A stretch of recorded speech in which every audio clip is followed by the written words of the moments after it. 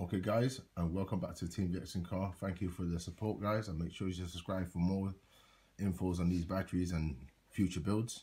So we go straight to the lithiums today. So you got the lithium cells, these are the 55s at the back there. You see the size difference.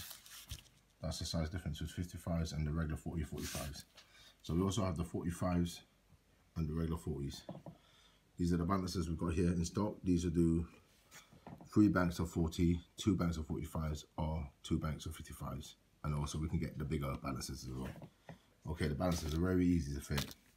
And then you get the link bars with it and nut and bolt. So you really don't need to buy anything. All you need is two bits of, I would say, two inch, two and a half inch of copper bar, like what I've done there, to link the ends of the positive and negative when you actually get it to a 12 volt setup. So basically that's it there, guys.